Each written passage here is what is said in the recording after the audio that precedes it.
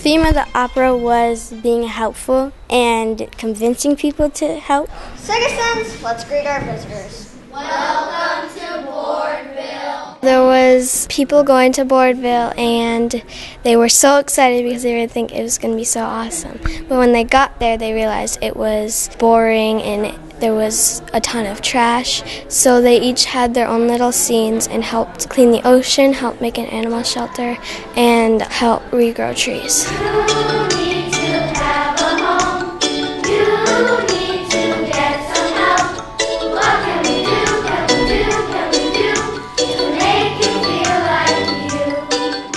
Opera is amazing. It is probably one of the most intense artistic processes that I have ever been through to put together something completely original from scratch in 17 days. But right when the curtain was about to open, I was like, my heart was beating. We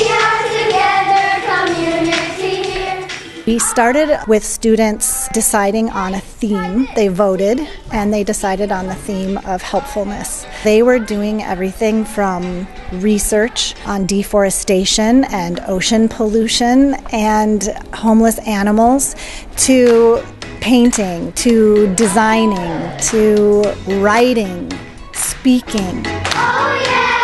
My dad came to watch and his friend. They thought it was like really good and they said they were really proud of me. Feel strong when we are helpful. I think it really shows the way that our school prioritizes the arts as a way of learning and to making sure that our students have high quality arts experiences